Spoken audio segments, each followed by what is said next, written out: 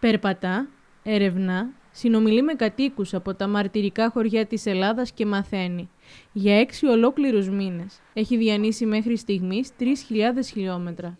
Θα σταματήσει μόνο αν δοθούν οι γερμανικές αποζημιώσεις στους Έλληνες. Πρόκειται για τον Στέφαν Μακνίλ, Γερμανό ιστορικό, συγγραφέα και καθηγητή πανεπιστημίου, ο οποίος φανερά συγκινημένος λέει στην κάμερα της Κρήτη TV ότι είναι απαράδεκτο το γεγονός ότι η Ελλάδα είναι η μόνη χώρα που δεν έχει δικαιωθεί ακόμα και αναρωτιέται γιατί. Το δίκαιο είναι να δοθούν οι αποζημιώσεις στην Ελλάδα. Έχουμε 400.000 σπίτια. Το κάθε σπίτι κοστίζει 20.000 ευρώ.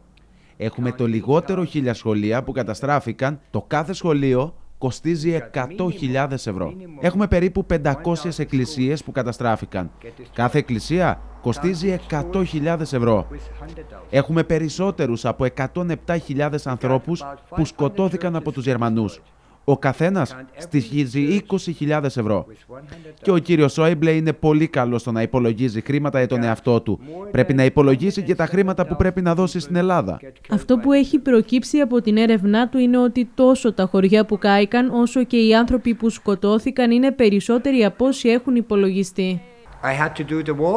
Πρέπει να την κάνω αυτή τη διαδρομή, παρόλο που είναι δύσκολη για μένα. Πολλές φορές νιώθω κουρασμένος.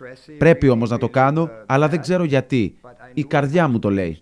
Ήταν στη Βιάνο την προηγούμενη εβδομάδα. Εμείς τον είχαμε τέσσερις μέρε εδώ για τα δικά μας χωριά που είναι ο Σάρχος, το Μάραθο, η Δαμάστα, το Καμαράκι.